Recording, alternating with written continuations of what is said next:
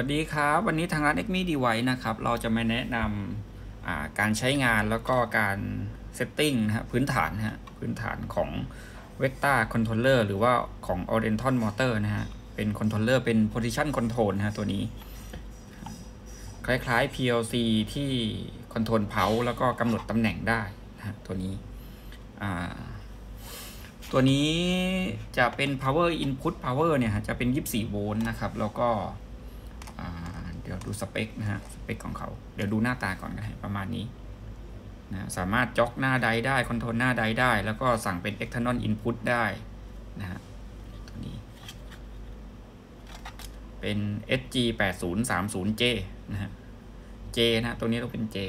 มันจะต่างกันนะ S กับ J อ่า J เนี่ยจะได้สองเขาเรียกอะไรสองสอง control ได้สองแบบ เดี๋ยวเดี๋ยวค่อยมาดูตรงนี้ เดี๋ยวจะแนะนำตัว สเปคก่อนนะสเปค ตัวนี้ control stepping หรือว่า servo ได้ 1 แกนนะฮะ แล้วก็โปรแกรมเนี่ย setting ได้ 4 4 โปรแกรมหรือว่า 4 step นะฮะ4 step 4โปรแกรม โดยใช้ 2 Input เป็นเป็นบิต Input 2 บิตนะฮะ ก็คือเช่นว่าอ่า00โปรแกรมหนึ่ง01โปรแกรมหนึ่ง10โปรแกรมหนึ่งแล้วก็11ก็อีกโปรแกรมหนึ่ง แล้วก็เหมือนที่บอกถ้าเป็นรุ่นนี้ได้ 2 โหมดคอนโทรลก็คือเป็น position control แล้วก็เป็น sequence control นะฮะแล้วก็ตัวนี้ความถี่เนี่ย จะได้สูงสุดถึง 200k Hz นะฮะตัวนี้เผาที่ออก 200k ก็จะได้เหมือน servo เนี่ย3,000 rpm สมมติว่า servo 3,000 rpm เนี่ย ถ้าเรา control สูงสุดที่ pulse สูงสุด 100k Hz เนี่ย เราก็จะเซต2,000อ่า resolution resolution จะเป็น 2,000 เพาต่อรอบ ถ้า 2,000 เพาต่อรอบเราจ่าย 1 1 100 kHz เนี่ยจะได้หมุน 3,000 rpm พอดีนะฮะ แต่ถ้าอ่าตัวนี้เราสามารถ control ได้ถึงอ่า200 kHz อ่า resolution ของ servo จะได้ทำละเอียดได้ถึง 4,000 เพาต่อรอบ ก็คือก็จะละเอียดขึ้นไปอีกของของของความละเอียดของ servo นะฮะ ตัวนี้200 kHz แล้วก็ที่บอกได้ external input ได้เป็นโปรแกรมโหมดข้างหน้านะ control มี external input โปรแกรมโหมดแล้วก็ test นะ test mode ก็สามารถ jog ได้หรือว่า run โปรแกรมเป็นโปรแกรมที่หน้าไดนี้ได้เลยนะครับ power input 24 โวลต์20 มิลลิแอมป์อ่านั่นเป็น maximum นะ output 24 โวลต์ maximum 20มิลลิแอมป์เป็น output power input เนี่ย24โวลต์0.1แอมป์นะฮะโอเคนะครับ เดี๋ยวดูตัวตัวขาเนี่ยทั้งหมดจะมี 11 ขานะครับ11 ขา ถ้าตาม manual เนี่ยขา1เนี่ยจะเป็นจะเป็น home input นะครับ ขา2เนี่ยจะเป็น เป็น common เป็น ground หรือว่าเป็นศูนย์โวลต์ขา 3 จะเป็นไฟ 24 นะครับ แล้วก็ขา 4 เนี่ยจะเป็น output นะฮะแล้วก็ขา 5 เนี่ยจะเป็น home เป็น home home นี่หมายถึงว่า home home home สั่ง home ไม่ใช่ home input จากเซนเซอร์แต่เป็น home ที่เราสั่งว่าจ่าย input ตัวนี้แล้วสตาร์ทก็คือให้วิ่งไปที่ home นะฮะแล้วก็ขา 7 ขา8เนี่ยก็จะเป็น output pulse นะเผา CW CCW 78นะฮะก็จะเป็น 2 แบบเผาก็จะเป็น2 2ลักษณะคือเป็น 1เผากับ 2เผา1เผาก็คือเป็นเป็นเผา direction นะฮะสำหรับไดสเตปปิ้งที่หรือว่าเซอร์โวที่เป็นแบบ 2เผาก็คือจ่ายคู่หนึ่งหมุนซ้ายจ่ายคู่หนึ่งหมุนขวา แล้วก็ถ้าเป็นอ่าโทษ อ่าถ้า2เพาก็คือเป็น CW CCW จ่ายคู่คู่หนึ่งหมุนซ้ายจ่ายคู่หนึ่งหมุนขวา แต่ถ้าเป็น1เพาเนี่ยจะเป็นเพา direction จ่ายคู่หนึ่งเนี่ยคู่แรกเนี่ยจะเป็นเพากำหนดตำแหน่งและความเร็วอีกอีกคู่หนึ่งจะเป็นทิศทางก็คือ direction นะครับเจ็ดแปดนะ แล้วก็ขาเก้าเนี่ยจะเป็น external stop เช่น over travel หัวท้ายของพวกแกนสำเร็จ หรือว่าพวก emergency อะไรพวกนี้ได้นะครับ แล้วก็ 10 11เนี่ยจะเป็นเป็น bit input เดี๋ยวเดี๋ยวเดี๋ยวจะแนะนำอีกทีมจะมี 2 แบบ ก็คือก็พูดง่ายคือถ้าถ้าเป็นแบบอ่า selection select position เนี่ยแบบแรกนะ select select position เนี่ยจะเป็นอ่าเป็นแบบ M0 M1 ก็คือบิตจ่ายบิต00 วิ่งไปตำแหน่งหนึ่งจ่ายบิต01 วิ่งไปตำแหน่งหนึ่งแล้วก็จ่ายบิต10 ก็อีกตำแหน่งหนึ่งก็คือ 4 4 station นะฮะเป็น select position อีกแบบหนึ่งก็คือ sequence position ก็คืออในตัวของขา 10 11 เนี่ย อันนี้ลูกค้าต้องไปดูแมนวลคู่กันไปนะตามที่อธิบาย ก็คือ 10 11 เนี่ย จะเปลี่ยนจากบิตเนี่ยกลายเป็นเป็นจ็อก ก็คือสมมติว่าเราจ่ายขา 10 เนี่ย มันจะวิ่งไปทางซ้ายและลักษณะเป็นจ็อกไปทางซ้ายขาแล้วก็จ่ายขา 11เนี่ยเป็นวิ่งไปทางขวานะประมาณนั้น วิ่งซ้ายวิ่งขวาก็จะไม่มี bit เวลาสั่งสั่งเนี่ยมันจะเป็น sequence เลยก็คือเหมือนเหมือนที่แรกเราเซตโปรแกรม 1 2 3เนี่ย4เนี่ยก็คือเราจ่ายจ่าย bit ก่อนแล้วสั่งสตาร์ทจ่าย bit สั่งสตาร์ทแต่พอเป็นแบบอ่า sequence position เนี่ยเราสตาร์ทอันเดียวเลยสั่งสตาร์ทมันจะไปทีละ step ทีละ step จนถึงครบ 4 step ก็คือจ่าย input อย่างเดียว input start อย่างเดียวนะฮะแล้วก็เหมือนที่บอกก็คืออ่าสิบสิบเอ็ดก็คือกลายเป็นจ็อกสายขวานะครับ แล้วก็ ขาเก้าเป็น external stop เหมือนที่บอกมันคือเป็น emergency หรือว่าเป็น over travel แล้วก็ขาขาห้าเนี่ยจะเป็น origin ก็คือเป็นเป็น home input นะครับ เดี๋ยวผมเทสเลยดีกว่า เทสให้ดูเลยดีกว่าง่ายกว่า อันนี้ต่อไว้แล้วนะฮะ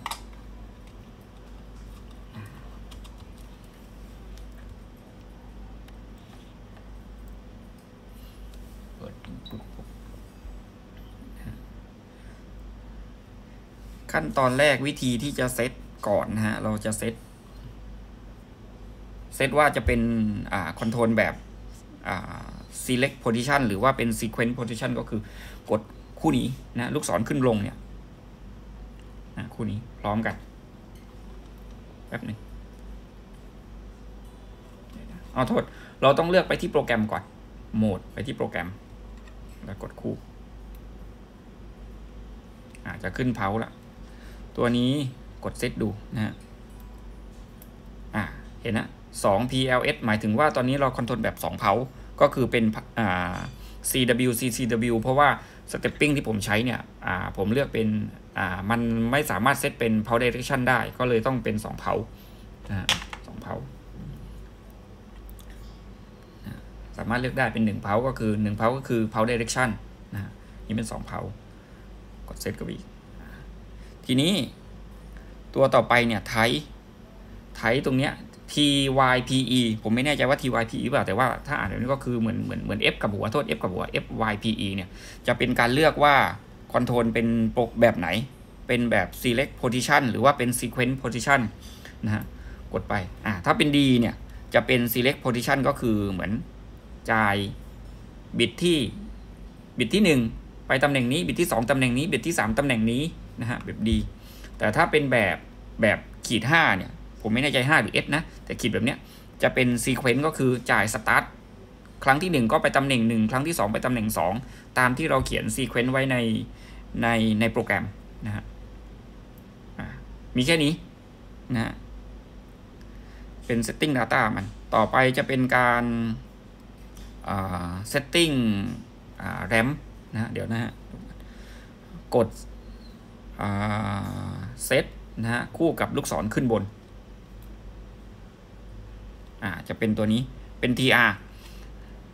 tr เอาไม่ใช่ น่าจะเป็น fr หมายถึงการเลือก excel time d time มันจะมี 2 แบบ อันนี้ต้องต้องลูกค้าต้องไปลองลองลองเซตดู ผมแค่ไกด์นิดหน่อยนะฮะจะ tr จะมี 2 แบบก็คือแบบที่ tr เซตดู แบบขีดหนึ่งกับแบบขีดสองสองอันนี้มันจะต่างกันการออกตัวเนี่ยกับการหยุดเนี่ยมันจะต่างกันเหมือนเรากำหนด ว่าจากจุดที่หนึ่งไปจุดที่ที่สองเนี่ยใช้เวลาเท่านี้แรมนะฮะแรมมันจะคำนวณออกมาเองผมผมไม่มั่นใจตรงนี้แต่ว่ามันเลือกได้สองแบบลูกค้าลองลองไปเซตดูนะครับ แต่ตอนนี้ผมเลือกไว้แบบที่หนึ่งเดี๋ยวลองลองมาเซตแล้วก็ลองเทสดูว่ามันจะต่างกันยังไงฮะแล้วก็ตัวต่อไปอ่า US ตรงนี้เป็นเป็นความถี่ในการโฮมจะ home แบบวิ่งช้าๆหรือ home แบบวิ่งเร็วๆตรงเนี้ยนะนี่ผม home อยู่ที่น่าจะเป็น5เฮิร์ตนะผมไม่มั่นใจ แต่เป็น home ว่าความเร็วในการ home เท่าไหร่นะแล้วก็ตัวนี้น่าจะเป็นรู้สึกว่าจะเป็น HOUR นี้จะเป็นอ่า jog speed นะฮะว่าเราjog ความเร็วต่ำความเร็วสูงเท่าไหร่กดดูที่ห้าสิบผม jog ให้มันเร็วขึ้นอีก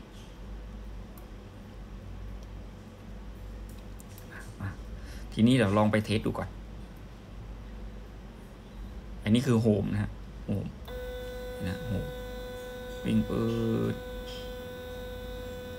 ไปเจอเซนเซอร์แล้วก็ถอยกลับนิดนึง แล้วก็จะเป็น zero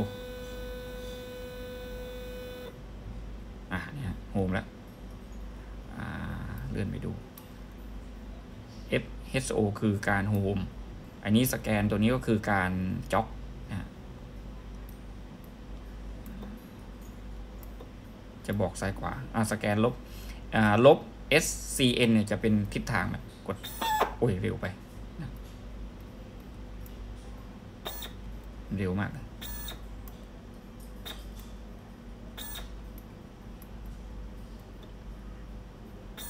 เร็วอาทีนี้ลองกลับไปที่โปรแกรมไหมไปแก้ตัวเมื่อกี้นะกด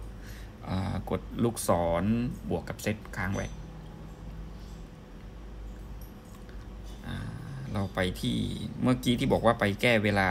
ในการจ็อกความเร็วในการจ็อกนะ H O U R อะตัวนี้เสร็จดูนี่แปดสิบกลองช้าๆดูนะเร็วไปหน่อยเสร็จ ไปที่เทสดู ไปที่สแกนมาบวกลบนะ กด อ่าเนี่ยช้าล้วช้าลงล้วเป็นการโหเป็นการจ็อก ความเร็วในการจ็อก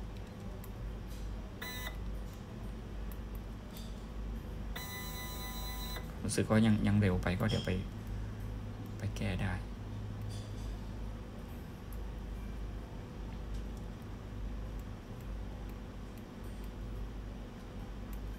ยี่ สิบสักสิบก็พอนะอ่าไปเทสอีกทีนึงที่สแกนบวกลบจะช้าลง ช้าขึ้นนะช้าขึ้น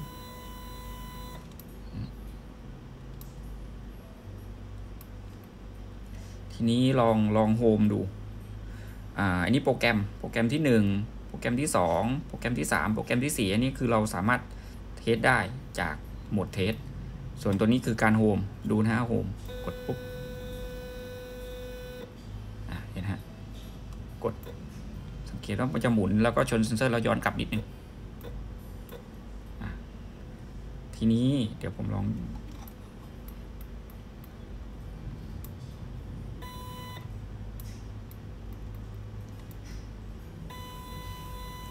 ความเร็วประมาณนี้นะ ผมลองไปแก้ดูว่า แก้ความเร็วในการโฮมดูตัวต้องไปที่โปรแกรมก่อน กดค้าง ที่ U5 เลย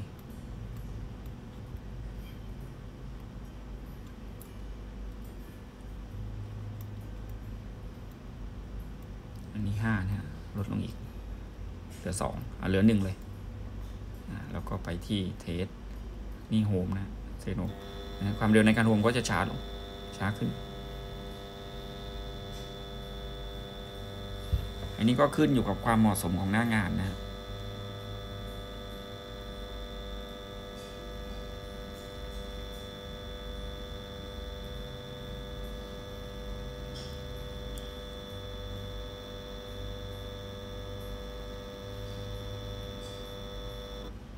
นี่คือ home แหละ mode test นะฮะก็เราสามารถเซตได้ว่า ตอนนี้เราเซตได้แล้วว่าเป็น1 pulse หรือ2 pulse เลือกว่าเป็น control แบบ select position เป็น sequence position แล้วก็เลือกการว่าการการ excel time design คือแรมการออกตัวการหยุดเป็นแบบไหน แล้วก็เลือกเวลาในการ home ได้ แล้วก็เลือกอความเร็วในการ jog ได้แล้วนะฮะแล้วก็สามารถลอง mode test ได้นะทีนี้เรามาลอง input กันเลยดีกว่านะฮะ ทีนี้เราเวลาลองเนี่ยเราไปที่ที่ external input อ๋อผมยังไม่ได้ลองอสอนเรื่องโปรแกรมนะโปรแกรมโปรแกรมนี้เรากดได้เลยเหมือนที่บอกโปรแกรมจะมีโปรแกรม 1 2 3 4 ไปที่โปรแกรมอะโปรแกรมเนี่ยหนึ่งกดเซตเซตตรงนี้อันแรกเนี่ยก็คือจำนวนเผาสมมติว่าสี่พันเผาได้ระยะสิบมิลก็คือ ก็คือใส่ใส่สี่พันอยากยี่สิบมิลก็ใส่แปดพันอะไรประมาณนี้คือนี่จำนวนเผาก็คือตำแหน่งนะฮะแล้วก็ถัดไป ตรงนี้ก็คือเวลาเวลาจะช้าจะเร็วอยู่ตรงนี้ ถ้ายิ่งยิ่งเยอะก็ยิ่งเร็ว ยิ่งน้อยยิ่งช้า ตรงนี้ถ้าเป็นบวกแบบเนี้ยก็จะวิ่งไปด้านบวกด้านหน้านะฮะสามารถเลือกได้วิ่งไปด้านหน้าก็คือวิ่งไป 4,000เพาด้านหน้านะฮะกดไปเรื่อยๆ โปรแกรม 2 ผมตั้งไว้วิ่ง 1,000 เพาจะหน้าจะหลังก็คือถัดไปอีกอันหนึ่งก็คือลบ ก็คือวิ่ง 1,000 เพาถอยหลังมาที่ความเร็ว 500นะฮะโปรแกรม 3 ก็คือวิ่ง 2,000 เพานะฮะถอยหลังมาก็เป็นลบที่ความเร็ว 900 แล้วก็โปรแกรม 4 นะครับวิ่งมา 1,000 เพาวิ่งถอยที่ความเร็ว 100 แล้วก็วิ่งถอยเป็นลบนะสี่โปรแกรม ทีนี้เดี๋ยวลองเลยย้อนกลับไปที่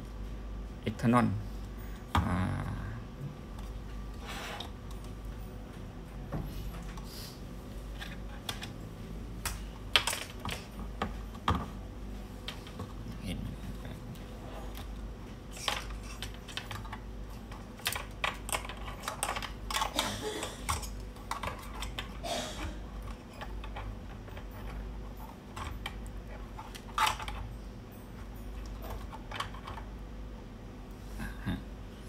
ทีนี้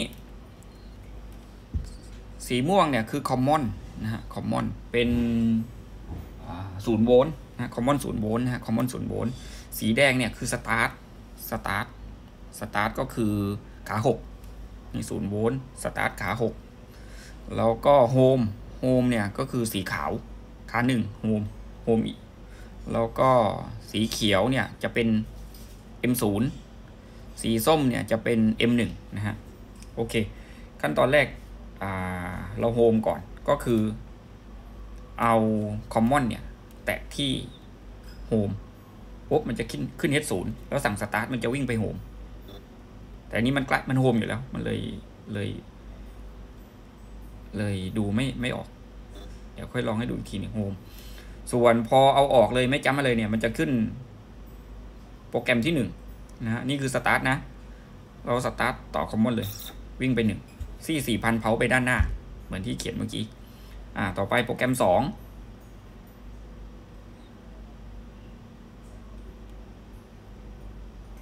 อ่าโทษโปรแกรมสองอ๋อ เมื่อกี้เราไม่ได้เลือก อ่า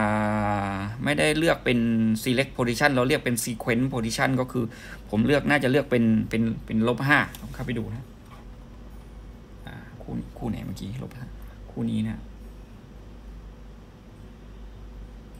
เดี๋ยวเดี๋ยวไปที่โปรแกรมก่อน เดี๋ยวงง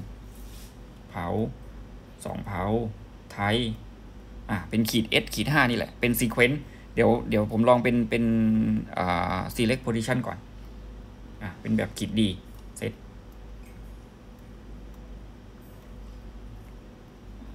เอ็กซ์ตันเหมือนเดิมนะฮะ อ่าลองโฮมดูทั้งนั้นโฮมเอาคอมมอนจิ้มสีขาวก็จะเป็นลักษณะโฮมสั่งสตาร์ทจะวิ่งไปโฮมจะช้าจะเร็วขึ้นอยู่เราตั้งต่อในใน Data Setting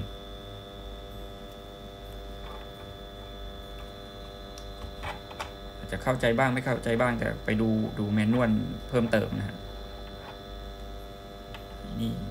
เผื่อจะมีประโยชน์กับคนที่ติดตามอยู่นะ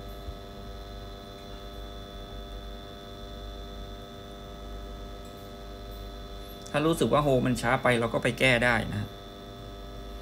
ในในยูกดลูกศรบวก ลูกศรแล้วก็ลูกศรขึ้นแล้วก็เซตแล้วก็ไปที่ยูห้า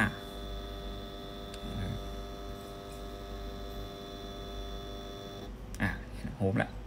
ทีนี้หลังจากโฮมเราก็สั่งเลยคอมมอนสั่งสตาร์ทเลยเพราะว่ามันอยู่โปรแกรมหนึ่งอยู่แล้วสั่งสตาร์ทวิ่งไปด้านหน้าสี่พันอ่าทีนี้ลองสอบ สองไม่ได้ต้องไปหนึ่งก่อน เอาสองโทษหนึ่งแล้วไปสองสั่งสตาร์ทถอยหลังมาหนึ่งหนึ่งพันรู้สึกหนึ่งพันหรือสองพันนี่แหละอะถอยมาสองต่อไปสามสามแล้วโปรแกรมที่สี่ต่อไปอ่อนนี้จำเลยอะกลับมาที่เดิมง่ายๆนะโปรแกรมหนึ่งวิ่ง หนึ่งแล้วสองสาม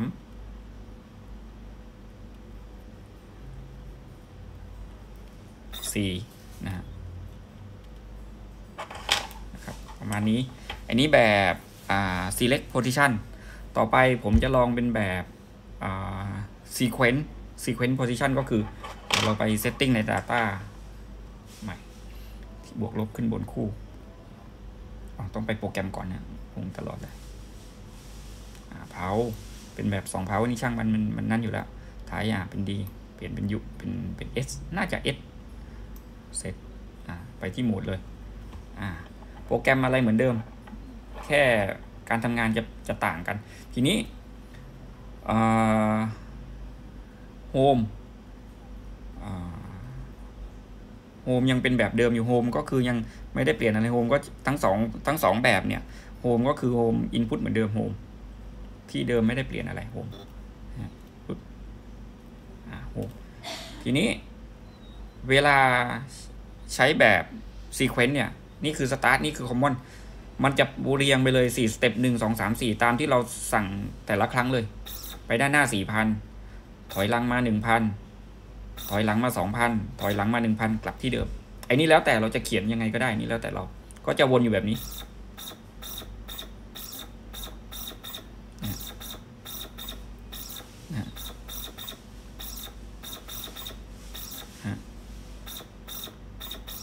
แต่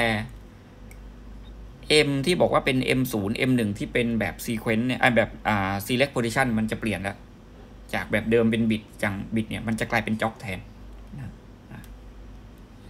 จะกลายเป็นคำสั่งจ็อกแทนนะสามารถจ็อกได้จ็อกตำแหน่งไหนก็ได้ จะช้าจะเร็วก็เหมือนบอกไปเซตในใน Data มันใน Data Setting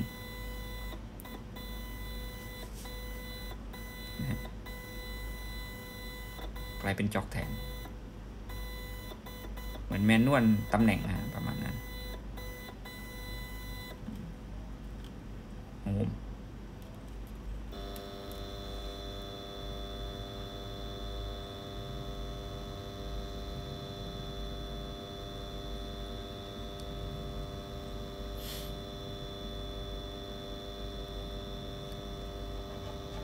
ย้ำอีก ทีนะ หลักๆ ต้องไปดูแมนนวลนะฮะนี่ผมก็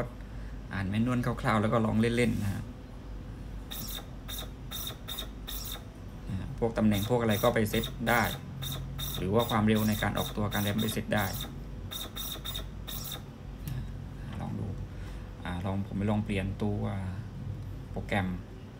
โปรแกรมหนึ่งเนี่ยสี่พันสมมติว่าสี่พันถ้าผมเปลี่ยนใหม่เป็น ไม่เปลี่ยนดีกว่าเดี๋ยวตำแหน่งมันเพี้ยน ความเร็วดีกว่า เปลี่ยนความเร็วได้ เมื่อกี้มันเร็วมากเลย ลดลงได้อีก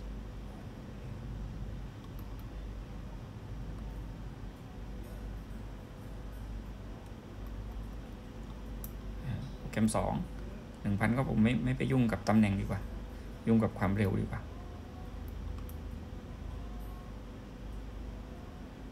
ช้าช้าก็ได้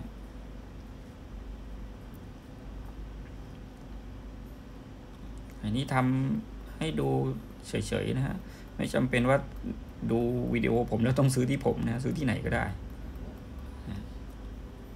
แกมสาม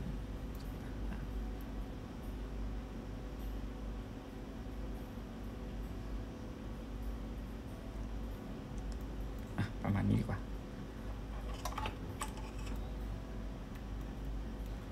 ออกไปเลยดีกว่า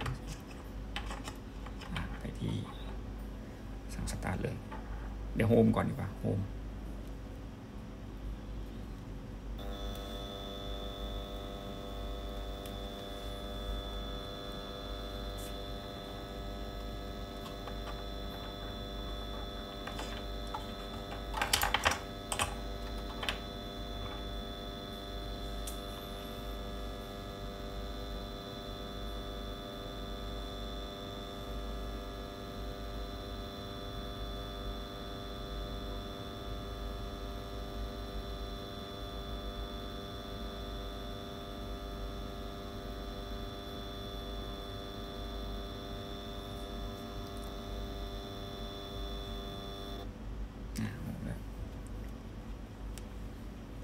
สตาร์ทสุดสุด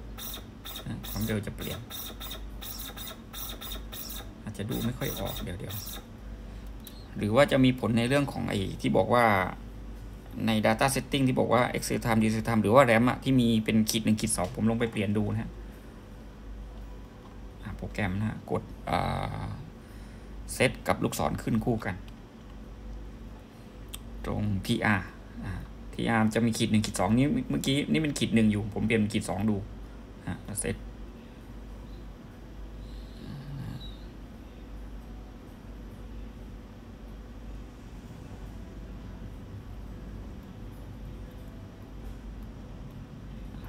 ลองเทสดูใหม่นะ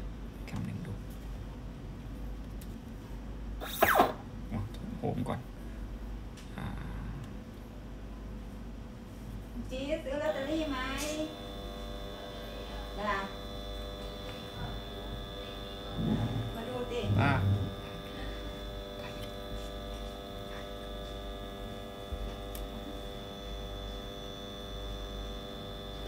ช้าเดี๋ยวผมปิดใหม่ เซตใหม่เซตโอไม่เร็วขึ้นดีกว่า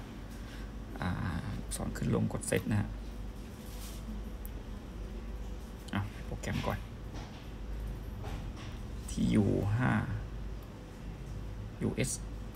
5 US นี่แหละไปที่5ดีคโฮมนะครับ กด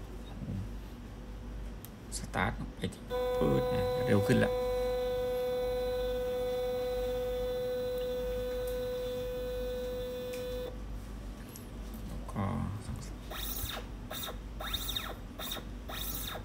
การแรปมันจะเปลี่ยนไปนะ รู้สึกว่ามันจะเปลี่ยนนะ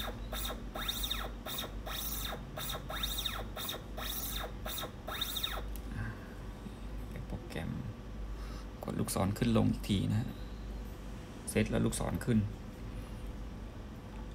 ที่ R สองหนึ่งสองแล้วก็ ตรงนี้ถัดมาตรงนี้น่าจะเป็นเวลาในการแรมนะผมน่าจะนะเดี๋ยวผมลองเพิ่มขึ้นเมื่อกี้เป็นห้าแล้วดูความเร็วประมาณนั้นนะ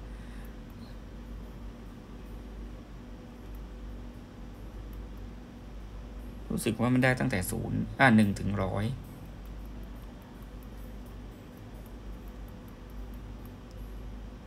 เอาถึงร้อยเต็มที่ไปเลยนะอลองดูนะฮะในโฮมใหม่นะฮะสตาร์ทอ่าเห็นฮะแล้วมันจะเปลี่ยนแล้ว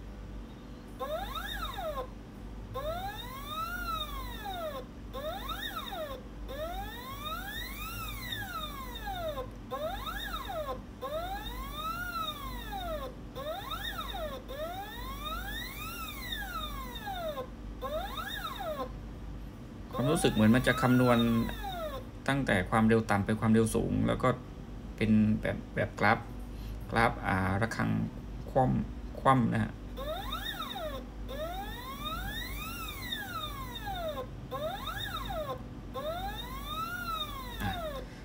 โอเคนะผมเพิ่มแรมเดี๋ยวทีนี้ไปลองเปลี่ยนดูอีกทีนึงอ่าจะได้เห็นว่าความแตกต่างขนาดไหน TR กดเซตเป็น 2 แล้วลองเป็น 1 นะฮะ กดเซต อันนี้ร้อยเหมือนเดิมจะได้เห็นความแตกต่าง เพราะว่าแรมมันมี 2 แบบโฮมในอีกทีหนึ่ง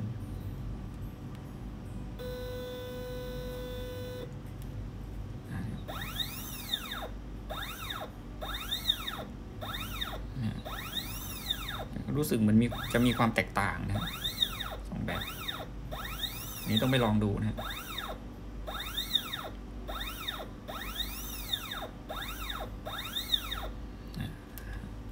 ประมาณนี้นะครับ ตัว Vexta controller นะฮะเป็น position control เผานะฮะวันนี้นะโอเคนะครับ ขอบคุณครับ